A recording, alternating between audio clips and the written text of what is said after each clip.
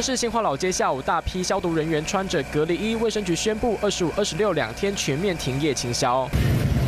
摊商开始收拾东西，马路上也很少游客，因为中央公布台南新增两名确诊者，其中一人二十三号来过新华老街。今天台南市有两位确诊的个案。两名确诊者，其中一名是按一八五二二的七十几岁长者，而另外一名按一八五三三是高雄全聚链的相关染疫者。台南旋转婚宴会馆大面积消毒，因为十六号传出有高雄确诊者来喝喜酒，却知情不报。没想到事后，除了当天整间的新人宾客都要被隔离，其中隔壁宴会厅的新娘子不只要被隔离，卫生局还要他列册当天上百名宾客的名单，请他一一通知他们筛检。就是有宾客就是因为这样子要被公司停十四天。